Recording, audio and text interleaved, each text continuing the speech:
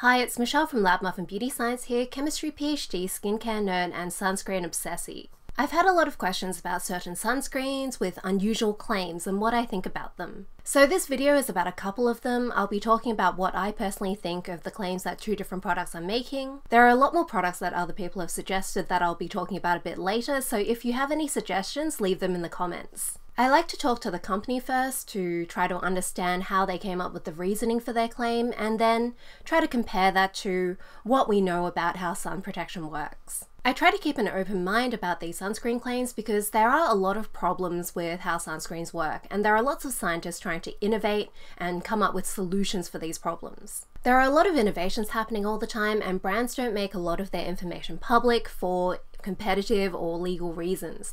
So you can't really assume that something doesn't work just because the public information isn't there. You have to really dig. And it usually is smaller brands that are more innovative. Bigger brands tend to not take a lot of risks, even if there is market demand. We've seen this again and again where a smaller company does something innovative and proves that it can work, and then larger companies tend to hop on the trend or try to acquire the smaller brand.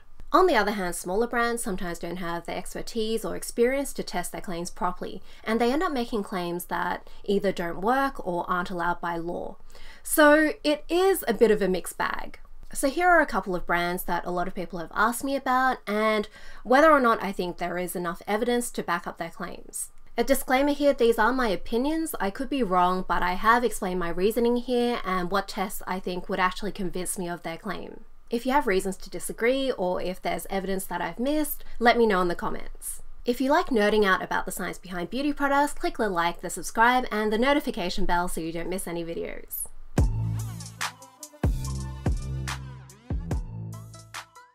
Colorescience is a dermatologist's favourite, and their most famous product is their powder sunscreen.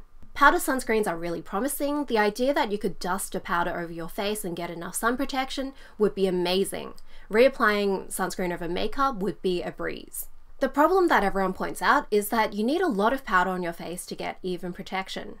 But when I was working on my video about reapplying sunscreen over makeup, I noticed that there were actually some powder sunscreens that have really high SPF, and some of them even have water resistance. So the Colorescience one is SPF 50 and 80 minutes water resistant. What that means is that for the label test, they applied the powder at 2 milligrams per square centimeter on the backs of people. The skin can be wet for this test, and then they sat them in a jacuzzi for 80 minutes.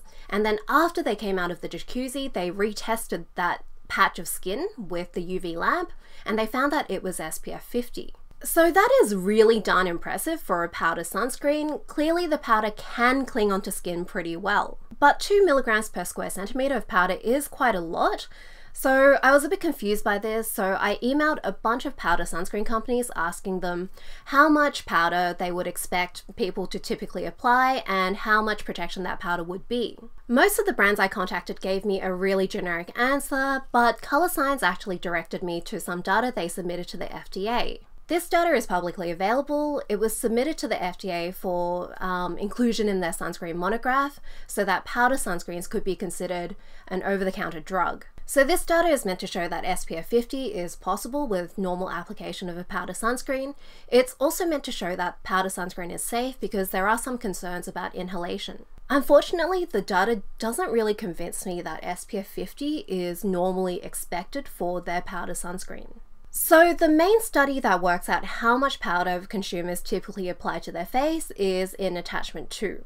First, they surveyed 136 customers on how long they typically apply their powder sunscreen for. It was a multiple choice survey with five options. They were 30 to 60 seconds, 1 to 2 minutes, 2 to 3 minutes, 3 to 4 minutes, and greater than 4 minutes. These are the results they got. They took the shortest time in each bracket and then averaged it all out, and so they got a minimum average application time of 60.4 seconds. Then they collected 10 measurements of how much powder comes out of the tube in 60 seconds. The way they did this is they weighed the tube at the start, then they primed the brush, so this is tapping it and flicking the brush until a puff of powder comes out. Then they got people to apply it for 15 seconds, and then reprime the brush and do this repeatedly until they got up to 60 seconds. Then they weighed the tube again at the end and then subtracted it to work out how much powder would come out. On average, this was 0.24 grams. On a 360 square centimeter face, this ended up with 0.65 milligrams per square centimeter.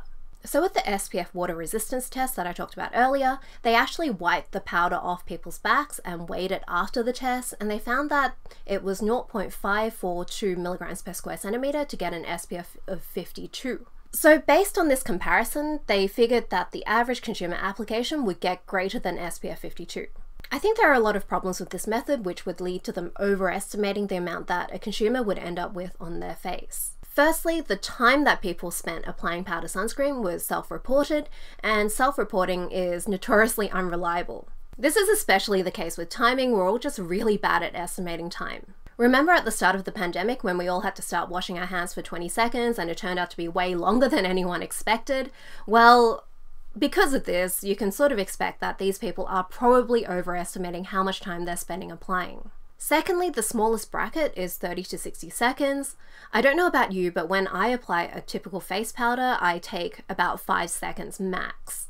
Obviously, if you're applying a powder sunscreen, you're going to try to apply it for longer, but whether or not you're going to apply it for six times longer normally is really questionable. 30 seconds is three happy birthdays, which is a pretty long time, and a lot of people picked the lowest time bracket. We don't know if people would have picked an even shorter time bracket if that was an option. The other part of the methodology I think also tends to bias towards overestimating how much powder you end up with on your face. Firstly, it's measuring how much powder came out of the tube, not how much ends up on your face. If you've ever applied powder, you know that you end up with a puff of powder around you. Not all of the powder that comes out ends up on your face. Even if it ends up on your face, it doesn't necessarily stay on your skin. There's also the priming of the brush, so they were tapping and flicking the brush every 15 seconds. The instructions for the brush say to tap and prime as necessary, not every 15 seconds. There's also the fact that when you prime it and flick it, there is powder going up into the air and again, not going on your face. There's actually another example of this process in another part of the FDA submission. So this was to establish safety. They had a volunteer apply the powder to her face while they were measuring how much powder was coming out around her face. So the volunteer had experience in using powder sunscreens. She primed the brush, she applied three layers to her face, neck, and shoulders, and then they weighed the brush afterwards and they found that she used between 0.06 and 0.18 grams of the product over three trials. So this was a really low amount compared to the 0.24 grams that they estimated with the other method, and that 0.24 grams was only for the face, this was for face, neck, and shoulders. This safety study was with an older version of the brush, and Colorescience say they've actually changed the brush since then so that it flows better. Even with the new brush though, on the product info page, they estimate that there's a 90 day supply with typical usage. The product is 65 US dollars, so it doesn't seem like that bad a deal. But the brush only has 6 grams of powder, so if you assume that you're only applying it all over your face once a day, and all of the powder ends up on your face, which it won't because you are meant to prime the brush and flick that powder into the air, that only works out to be 0.19 milligrams per square centimeter of application, which is less than half of what they claimed in their SPF protection test. If each application was actually 0.24 grams, like they said in the SPF protection test, then it would only last 25 uses, which is not such a good deal after all. So Colorescience doesn't really seem to have a consistent estimate for typical usage. It seems to change depending on which source you're looking at. So the experiment that would convince me is if they got customers to apply the brush on their face like they normally would without looking at the time. Then they could either weigh the brush to see how much powder came out, or even better, they could wipe the powder off the skin like they did in the water resistance test and weigh how much there actually was. I would say getting a UV lamp and testing the SPF would be a better idea, but I don't think people are really willing to get their faces burnt for science.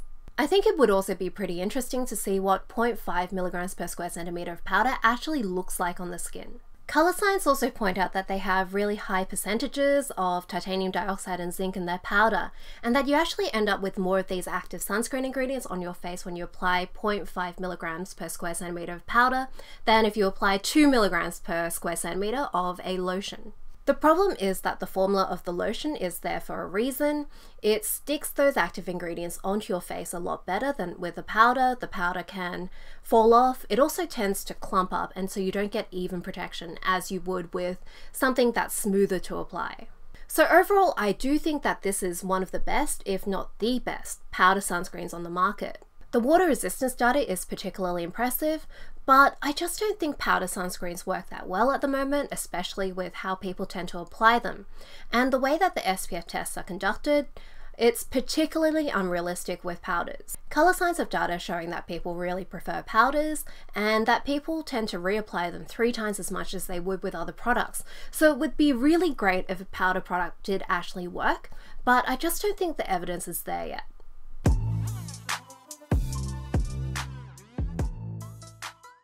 Another brand that people have been asking me about a lot is Skinnies.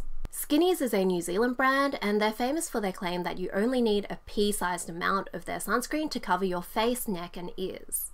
Their sunscreen doesn't contain water, so their argument is that with a normal sunscreen you need to apply more because that water will evaporate off and you end up with less product on your face, whereas with their sunscreen you end up with just the active. So it's like you skip a step in your application process. You don't apply the water, so you don't need to apply as much. So here's the specific calculations they do to get that pea size.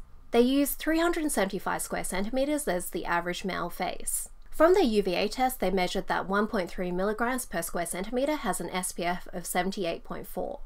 There are studies that have found that on average, the relationship between the amount of sunscreen you apply and the SPF you get is linear. So that means applying 40% of 1.3 milligrams per square centimeter will give you 40% of the SPF.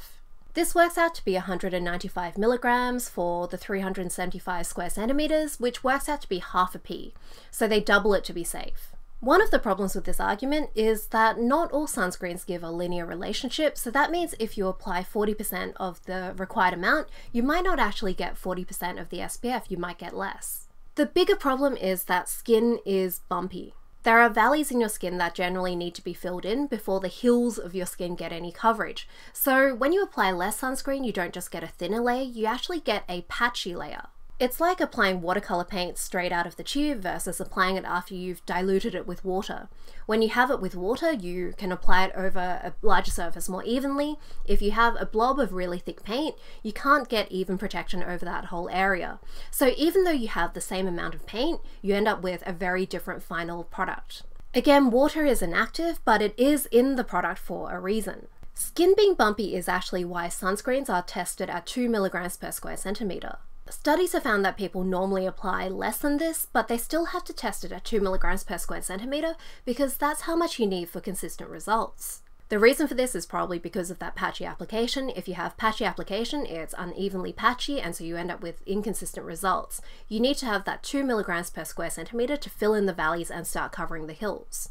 With a product like sunscreen, you want to be able to confidently say that most people applying the right amount in an even layer will get the expected SPF, and so unpredictable results just aren't acceptable.